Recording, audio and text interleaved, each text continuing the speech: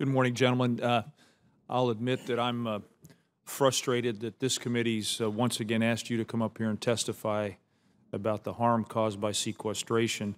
Uh, we in the Congress created this monster, and uh, we keep dragging you up to the hill to have you tell us uh, how much damage that it's done. I've met recently with my constituents in the great community of Colorado Springs last month, and they, they made it real clear to me that they're tired of Congress's unwillingness to compromise and solve the problem. And that view is echoed everywhere I, I travel.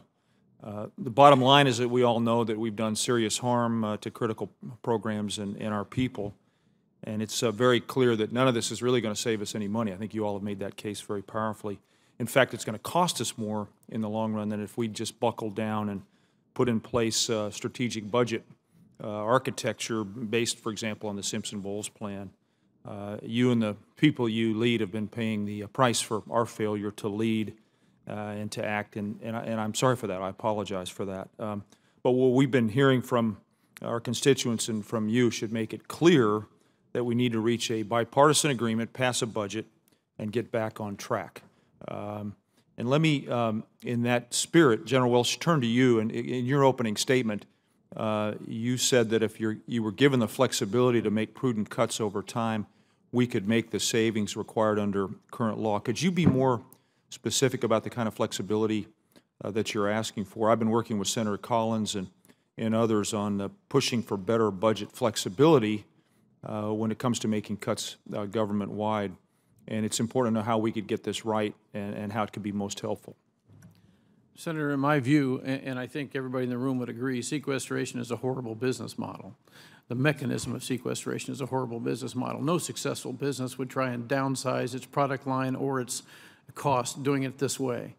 Anybody would take a time period, determine what kind of savings you needed over the time period or what kind of reductions you needed over the time period, you take the beginning of that time period to actually close product lines, reinvest the capital or the manpower or the force structure saved into the successful product lines you wanted to continue, restructure your organization, and then create savings at the back end of this.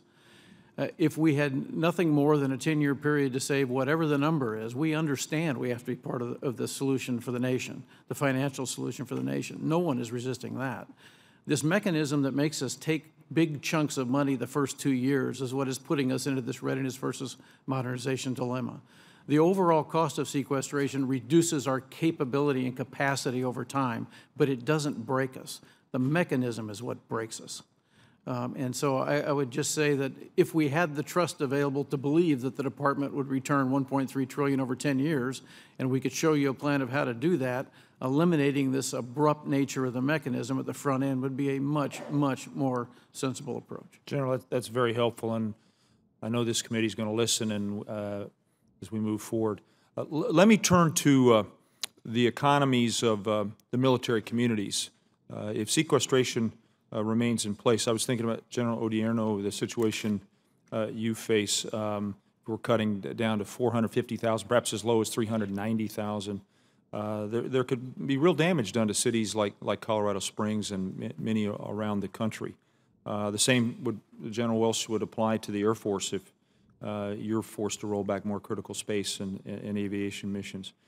In Colorado, over the last couple of years, we've had uh, uh, some, some real challenges. We've had to battle floods and wildfires, and uh, without the incredible support from soldiers and airmen, uh, I can't imagine how much worse the losses would have been if we didn't have assets like the new aviation brigade at Fort Carson or the, the great uh, airmen at uh, Peterson and Schriever.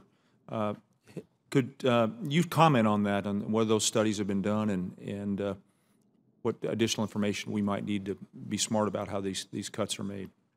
What a lot of people don't understand is in many cases, Fort Carson in Colorado, Fort Hood in Texas, Fort Bragg in North Carolina, Fort Campbell in Kentucky, they are, they are probably some of the most biggest generators of revenue for the states, period.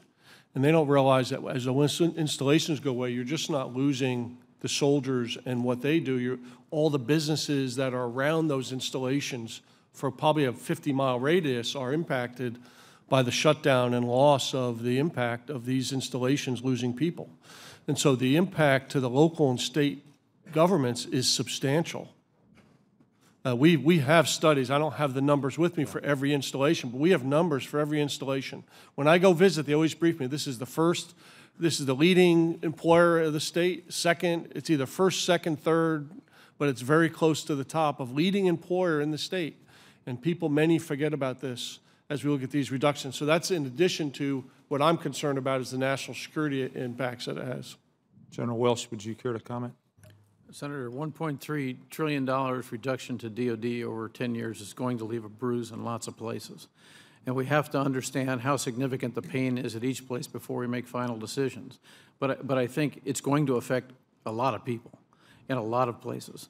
Um, I was just in Colorado, by the way, sir, and visiting with a bunch of the firefighters from Fort Carson, from, from uh, Colorado Springs, from the Air Force Academy in Schriever and Peterson, and walking through the actions they took in battling the fires last year and this year. Uh, I was struck by the contribution they make to the community every day, not just when catastrophes occur. Nobody wants to reduce that contribution. We lost in just the civilian furloughs last year as a corporate body, 7.8 million man-hours of work. Uh, Double that for the government shutdown impact on our civilian workforce.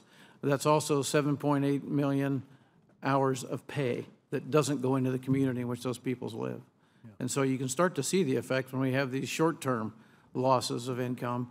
Uh, Long-term, it would be more dramatic, obviously. Th- Thank you, uh, gentlemen. If I could, uh, see my time's expired, but I want to make a couple of very quick comments. I want to thank the members of the National Guard units who came to Colorado from Kansas, Montana, Utah, and of course, our Colorado Guard for the incredible work they've done, not only immediately after our floods, but now to help rebuild our highways. We're reopening these highways months ahead of schedule, and it's a- really a testament to the work ethic and the teamwork that uh, those units brought to, to our state. Uh, Secondly, I want to, uh, again, um, thank you all for coming. I'm sorry we're here under these circumstances, but I'm, I'm pleased to see uh, Senator Inhofe here. He's uh, too tough to let a few blocked arteries keep him from uh, doing his work. And then finally, I want to associate myself with all the remarks about the Congressman and Chairman Skelton. He, he was a wonderful man. He was a mentor uh, to me. Uh, He uh, had a habit of saying, you know, I'm just an old country lawyer, but that was the moment at which I would really listen to what Ike Skelton had to say, and I know everybody who served with him felt the same way. So, Mr. Chairman, thank you uh, for convening this important hearing, and we got to get this right. Thank you all.